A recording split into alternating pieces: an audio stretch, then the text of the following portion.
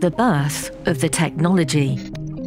Bitcoin was created thanks to a movement of libertarians known as the cypherpunks. These were composed of cryptographers, programmers, and privacy activists, a group with one dream that of creating an electronic cash system for the internet. It's important to understand that Bitcoin was not the first attempt of creating an online currency secured by cryptography.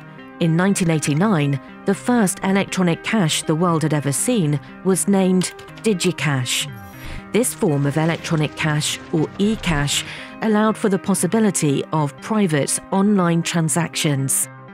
A decade later, a computer engineer and cypherpunk named Wei Dai attempted a new electronic cash called B-Money. B-Money was an anonymous, distributed electronic cash system, but it also used contracts, which allowed for bookkeeping, and cryptography for digital signatures, otherwise known as public keys. This proposal shares a lot of properties with how Bitcoin functions today. As a matter of fact, Satoshi Nakamoto, the creator of Bitcoin, reached out to Wei Dai in order to create a more sophisticated form of B Money's fundamental technology, giving birth to Bitcoin. So, what made Bitcoin's technology different and therefore a more suitable form of online currency? One word blockchain. Bitcoin was the very first form of a completely decentralized electronic cash, meaning that Bitcoin would not rely on any trusted third party in order to operate. Bitcoin created disintermediation and a real peer to peer electronic form of cash, independent of any individual and completely outside of any banking system. The internet is entering a second era. And for 40 years, we've had an internet of information. Now we're getting an internet of value. What Bitcoin did in its first two years of existence is not replicatable. This is what makes it decentralized. It's not because some guy is funding a bunch of developers that made it decentralized. That's not how it works. It was decentralized because it was a grassroots effort, not knowing if it was ever going to have value uh, the fact that it was able to spread around the world, the fact that there are hard drives in landfills with thousands of Bitcoin on them is what made it decentralized. And no other coin will ever have that. Bitcoin uses blockchain technology as the backbone of its decentralized network. A simple way to look at the blockchain is that it is a digital ledger which contains a record of every transaction ever made, an immutable open ledger which can never be altered, since there are thousands of computers across the world simultaneously confirming that the list of transactions has not changed, making Bitcoin the most secure and safest network ever created. Bitcoin's so simple. It's just a ledger and it has to do a couple of things really well. One is it has to be as maximally decentralized as possible, which it does a pretty good job of. Secondly, it has to enforce the 21 million hard cap. All everything else is a bonus. If it can do those two things, it means we don't have currency debasement with it, and anyone can send it to anyone. It's just beautifully simple. But what do you get off the back of that? You get people able to send money to people they need. You get a country able to defend itself against the US dollar in El Salvador. You get companies able to protect themselves against currency debasement, as well as individuals. You get people able to save. And it's just a beautiful thing. And all it is, is it's just a ledger. Yeah, I worked in banks. We would have loved to have had a system with 10 years with no, essentially no downtime. That's phenomenal. Yeah. There's no such thing. And to have such high amounts of transactions going through Bitcoin every, you know, every 10 minutes and to have never really gone down in 10 years is, is unheard of. And it, I think it's a sign of the hard work that many people have put through, whether that's the miners, the core devs, the people running nodes, the people running exchanges. It's, it's quite a compliment to achieve that. The genius of Bitcoin are its incentive models, which offer rewards to anyone who helps contribute to the security of the network. These people who keep a copy of the Bitcoin ledger are called miners, and mining is done through computing power. So, how do miners secure the network? they do so using a protocol called proof of work. Proof of work is a method that ensures that entering information onto a block is incredibly difficult to do, costly, and time consuming. The Bitcoin network creates a mathematical problem for miners to solve. Miners use their advanced computers to compete in solving this cryptographic maths problem, offering guesses or hashes quintillions of times per second in order to eventually find that magic number. Once the number is found, the block is completed and the transactions become validated. The miner who finds the correct answer is then rewarded with some Bitcoin for their work. When you hear the term mining, 99.9% of that is going to be what's called proof of work. So the algorithm that gives you the decentralization, the part of the blockchain that's super clever, that enables it to maintain itself. That is done by allowing people to form a consensus opinion. Now, how do you know they're people? By doing something that's mathematically really, really complicated and solving a mathematical problem, you are proving that you are a real person, or in this case, a real machine. Something is actually being done. When you hear of hundreds of thousands of Bitcoin miners, actually what you've got is a handful, maybe of 20, 30 pools these are the people that actually fill in the block template and submit the block template onto the blockchain. And lots and lots, hundreds of thousands, millions perhaps, of computers that are just trying to solve a simple sum. So they're huge prime numbers, and there are some, as soon as somebody manages to solve it, they submit it to the pool, and the pool goes, Oh my goodness, this is great. This means we have solved a block, we, so we get the block reward. And the block reward, 12 Bitcoin or whatever, gets paid out to the pool, which they then distribute to all these millions and millions of people. This is why you hear about people Bitcoin mining, Ethereum mining, or whatever they're doing. They're mining because they would like to receive some cryptocurrency directly as it gets emitted by the blockchain. And why does the blockchain emit? Well, the blockchain emits because whoever uh, came up with Bitcoin in the first place realized if we make each block that gets added to the blockchain emit a reward in tokens, in Bitcoin. That encourages people to get involved and to be part of the Bitcoin network. So it's a self-rewarding system that also is self-policing. It's a secure system through consensus and distribution. One complaint about Bitcoin is that it required a lot of energy in order to find the answer to each question.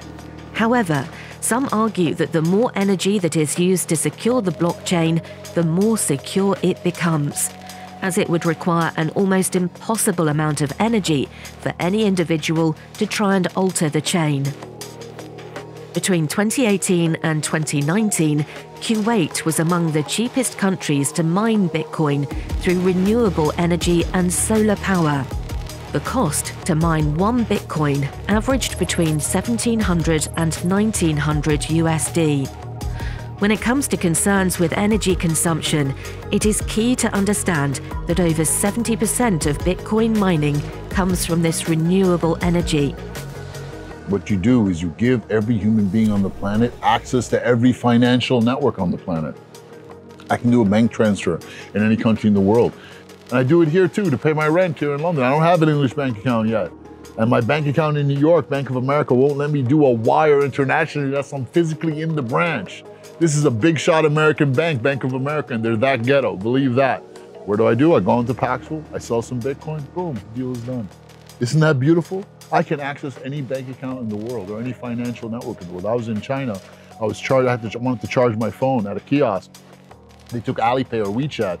I didn't have Alipay or WeChat account. Went into Paxful, sold some Bitcoin. The guy sent it for me. I gave him the QR code. Done. What about the transactions in the blocks? Every transaction registered in the blocks are confirmed by the Bitcoin miners, and a new block is created roughly every 10 minutes. Once the block is created, it is verified by every single person who is currently hosting the network meaning that once everyone agrees for the block to be created, it cannot be changed. This is what makes the ledger decentralized. No individual person, nor miner as they are known, can make a change to the network without every other individual agreeing to make the change. This is what makes Bitcoin an immutable truth. The main thing about this is that individuals can independently take control of their finances and they can decide what software to run, which consensus rules to follow, and then they become a participant in the security of the system. That's empowering. So that's the most important thing to realize about this technology. What about Bitcoin's scalability for mass adoption? One of the biggest challenges for Bitcoin is to scale enough for 1. Billions of people to use, 2. To process 100k transactions per second and therefore compete with centralized networks like Visa, and 3. Allow for microtransactions that are almost free to make this is the main problem that everyone talks about. It's like, oh, it's not scalable enough. This is what, you know, the L2, the layer two solutions are trying to do on Ethereum. This is what like, you know, Avalanche, Solana, Polkadot, Cosmos, Radix, all of these layer ones are, are solving the problem of. But I think often we come at it from the wrong perspective. Like for years in the crypto industry where people are like, how can this be mainstream if we're not matching Visa, which is 2,000 transactions per second? I, I, kind of find that a bit hilarious because it's like measuring how much bandwidth we need, like when the internet first came out, right? And you can imagine people are like, wow, we've got this network of computers that we can share information seamlessly, but like how much bandwidth do we need? Early ISPs trying to work out how much bandwidth they need. And it would be a little bit like trying to calculate how much bandwidth you need by working out how many telephone calls and faxes are being sent at the moment. And like you understand now, we understand intuitively that, that, that the bandwidth of telephone calls and faxes, nothing compared to what the internet actually represented. The internet was a wholesale rethinking of how information was shared. Right? And it was and it was millions of times the bandwidth was required from the information sharing that happened pre-internet to post-internet. We're at that precipice for the global financial system. If you go to the bank or Wells Fargo or anywhere else and try and send $3 into South Africa or Rwanda or Philippines, Indonesia, if you try and send a small amount of money, you'll find that you, you're absolutely shut out if you don't use the existing banking system. And even in the banking system, you'll see the fees are massive. Crypto cuts that out. If you can pay somebody with crypto, all of a sudden, you don't need to have these monster fees that come with, with the international transfers. So some people have built side chains as a layer on top of Bitcoin so that you know you don't have to worry about Bitcoin transaction fees or block times and it's a, a faster transfer mechanism of Bitcoin. Unfortunately, decentralized networks that rely on transactions being made on chain are extremely difficult to scale as of today. This is because blockchains are considered flood networks, meaning in order for a transaction to be made, all previous transactions need to be checked and verified to assure that new payments are valid. Because of this, it is difficult to have decentralization, security, and speed all together. Bitcoin is secure and decentralized, but those things come at a cost of speed. Luckily enough, we have secondary scaling solutions to solve this problem. One example of a scaling solution is the Lightning Network, which is a Layer 2 payment protocol that enables fast transactions among participating nodes and has been touted as a solution to the Bitcoin scalability problem.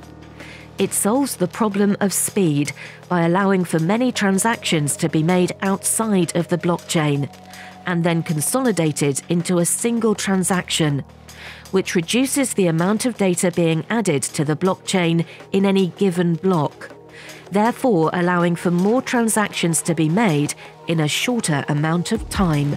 Lightning has kind of put another layer on top of Bitcoin where developers can come in and be creative. And that's why you've seen quite a lot of, of interest and apps that have been built. But essentially, Lightning, it's a way of caching transactions. I mean, I'm trying to talk about at the highest level but the way I see it is it's a cache on top of Bitcoin. Now you have payment channels which allow people to route messages across each other, but I've, I view them as all kind of caches. So few transactions are going to be done on chain because you can't scale on chain transactions. You got to scale them off chain. And off chain, Bitcoin has a dozen good proposals to give you privacy and fungibility as a second layer solution through wallets, through Lightning, through Liquid, and through lots of other innovations that are coming between Taproot and Bulletproofs and the latest in Schnorr signatures. Bitcoin will have sufficient privacy for the needs of consumers. In the last decade and since Bitcoin's birth, we have witnessed great progress in Bitcoin's technology, including mining efficiency, the proof of work mechanism, overall ease of use, Bitcoin's public persona, and therefore overall adoption. In the next decade, we look forward to seeing scaling solutions that allow Bitcoin to surpass the current financial system in terms of capabilities and usefulness to society. The possibilities of Bitcoin as a ubiquitous payment method that offers complete transparency and immutability are endless.